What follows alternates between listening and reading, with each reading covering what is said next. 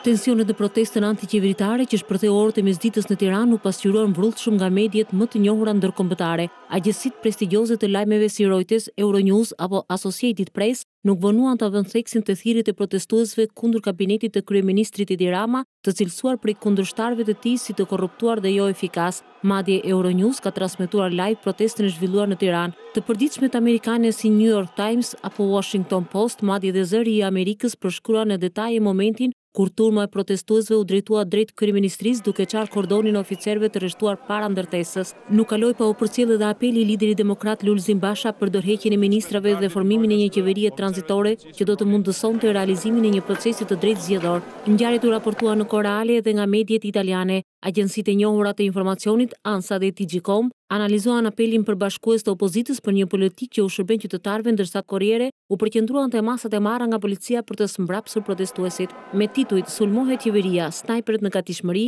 apo Mijëra protestues në rrugë mësyjnë pallatin kryeministror. U hapën edhe faqet kryesore informative greke, spanjolle, rumune apo serbe. Protesta e fundit sipas portaleve prestigjioze vjen në një kohë kur për Shqipërinë mbetet prioritare lufta kundër korrupsionit dhe krimit të cilat ndikojnë pashmangshmërisht në perspektivat e vendit për t'iu bashkuar bllokut europian.